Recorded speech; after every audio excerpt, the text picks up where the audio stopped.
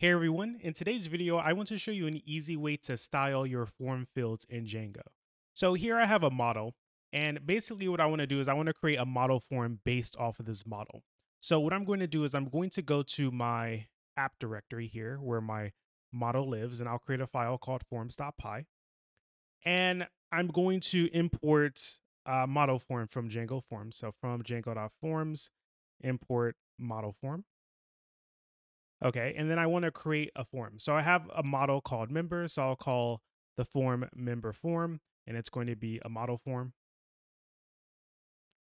And if you're familiar with model forms, you define a meta class inside of the form class. And then you have two fields that you have to use. One is model, which will be equal to the actual model. So from dot models import member. And then you have the fields. So in my case, I have two fields that I'm interested in. I have a name and membership number. Okay. So let's go ahead and display this first to show you the unstyled version.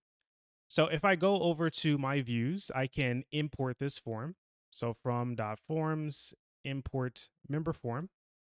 I'll instantiate the form member form. And then I'll just pass it over to the context and that will go into the template. So form, form. And then inside the template here, I have uh, form tags with no fields. So I have a couple of fields that I need. I need uh, form.name. And then I need uh, one for membership number. So form membership number. Okay, so let's take a look at this. I'll refresh.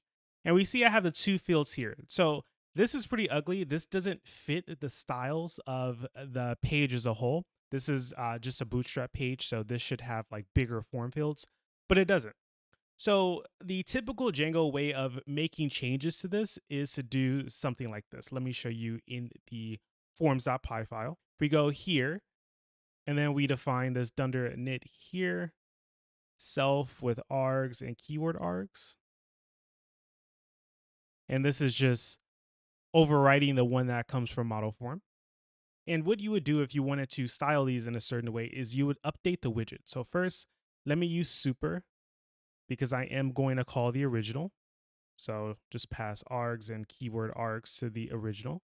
But the way to modify the form would be something like this. So I have um, self.fields name. So I have a field name and I want to update the widget attributes and I can do that by saying dot widget dot attributes dot update. And then in here, I pass a dictionary with the things that I want to update. So in my case, I want to make this a form control. So this should be a string. So this is the typical class and bootstrap for a form. And now if I go back to the page and refresh, we see that the name field now has a styling on it. The membership number field doesn't have the styling because I haven't added anything yet, but the name field does. So I could do this for all of the fields in all of my forms, but it's not the most straightforward way of doing it. Basically, you're putting your styling information inside of the form itself, which doesn't seem appropriate. So what I'm showing you in this video is an alternate way of doing that. So let me go ahead and get rid of this. And I'll stop my server and I'll install a new library called Django widget tweaks, so dashes between the words. Then once that is installed, I can go over to my settings.py. So I'll go to settings.py here, and I just need to add it to my installed apps. And what I'm adding is widget underscore tweaks. Okay. Once I add that, I can then go over to my template and then at the top of the template, I can load in a template tag. So load. And the name of the template tag is widget underscore tweaks, just like the app that I added. And now that I have this, I can use a tag called render field. So let's go down to name. So instead of just form.name, I'll have render underscore field as a tag, right? And inside of here, after the render field, I want to put the form.name here. So whatever the field is, I'll put it here. And then from this point on, I can add the attributes to the actual input that gets generated. So for example, if I wanted a placeholder, I can say placeholder equals name. If I want to extend the class, I can do class. And for the class, you can do plus equal. And it will just add it to any classes that already exist on the field that come from Django. And I want to add form control. So let's remove the name here. And let's refresh.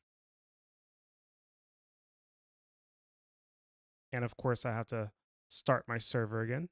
So let me start my server. And now refresh. And now we see I have the name field here and we see the placeholder name. The other field is still the default style. So let me change that.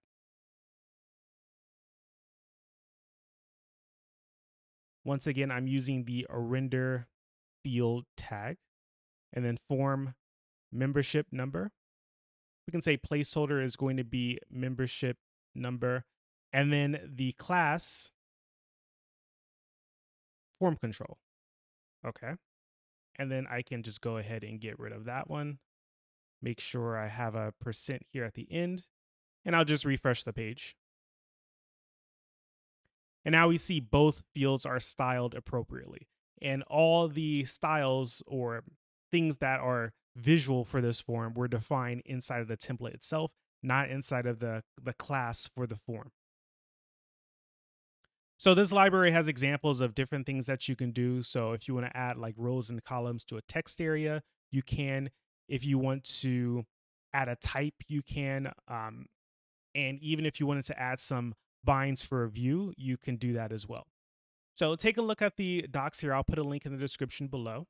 And I think you'll find it pretty useful uh, when you're developing Django apps because it's it's much easier to use than the original that I showed you.